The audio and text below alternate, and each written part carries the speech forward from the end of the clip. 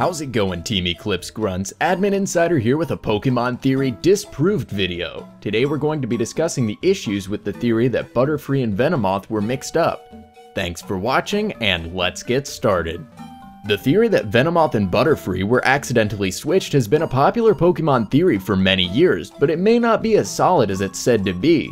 Before I get into the bugs of this theory, oh god, I can't believe I just said that.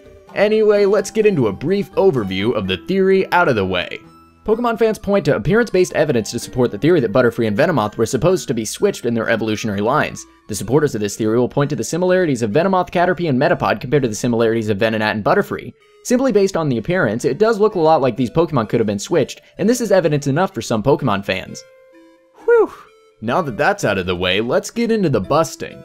The first problem with this theory is the fact that Venomoth is a moth, and Butterfree is a butterfly. I mean, that should be simple enough, right? Pokemon has been known to have some weird evolutions in the past, though. That's right, Remoraid, I'm talking to you. Anyway, it doesn't seem too far-fetched to think that Pokemon would have a moth evolved from a cocoon, but they made it a butterfly, which makes a lot more sense.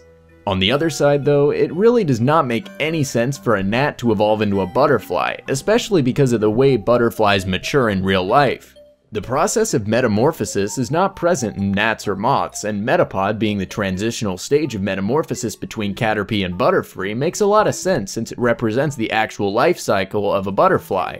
However, evolving from a gnat to a butterfly without a transitional stage makes it hard for me to believe. Now even with all of this, there are still probably people who will back this theory. Since the main point of the theory is to state that the developer switched their Generation 1 sprites and just kept it that way to act like they didn't mess up at all, we would need some sort of proof for this mess up to have occurred. The main reason why the supporters of this theory believe the theory is the designs of the Pokemon.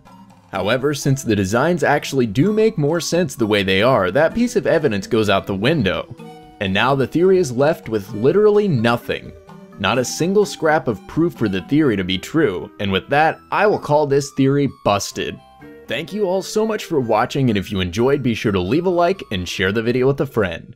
I highly recommend subscribing so you don't miss a video on this channel, and check out some of the other amazing content creators in Team Eclipse. Thanks again for watching, and this has been Admin Insider, signing off.